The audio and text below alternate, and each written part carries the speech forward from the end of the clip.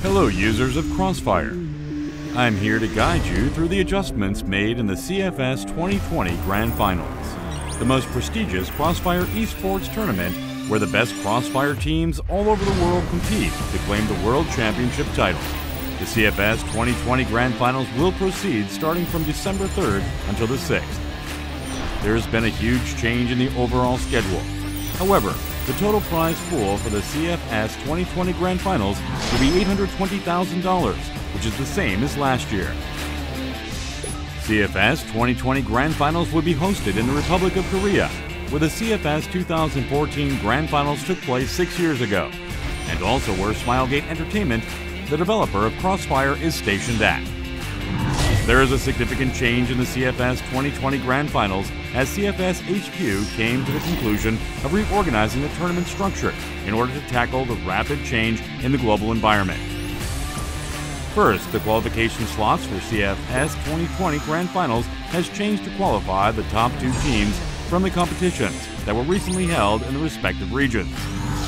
Top two Chinese teams from CFPL Champion Cup top two American teams from CFS Invitational Online 2020 American Division, and top two European teams from CFS Invitational Online 2020 UMENA Division. CFS 2020 Grand Finals will proceed in two phases the group stage and the tournament stage. The group stage has been split into two groups with three teams consisted in each group that aren't from the same region. For the group stage draw, the draw has been finalized under the fair process through live broadcast, which you can see it right now.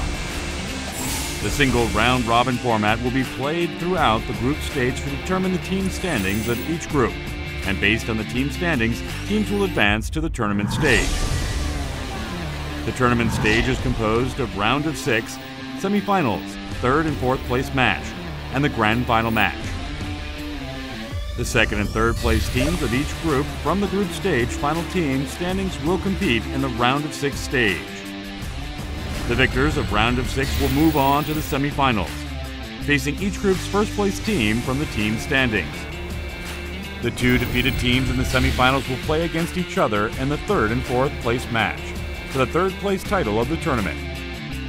The two winners of the semifinals will pit against each other in the grand final match to determine the champion of CFS 2020 Grand Finals. Only one team will claim the throne and stand as the champion of CFS 2020 Grand Finals.